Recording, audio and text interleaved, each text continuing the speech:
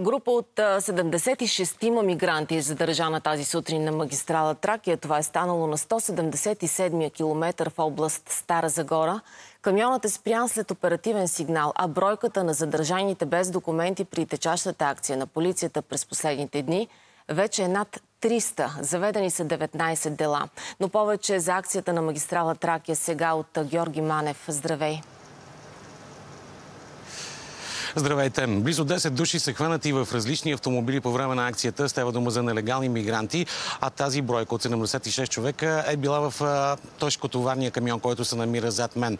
И ако смятате, че 76 е доста голяма бройка от областната дирекция на МВР в Стара Загора потвърдиха, че преди известно време отново в тежкотоварен камион са били заловени близо 100 мигранти.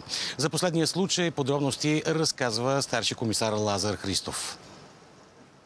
В 5 часа сутринта получихме сигнал и колегите спряха товарен автомобил с българска регистрация, с водач български граждан, не е криминално проявен към момента.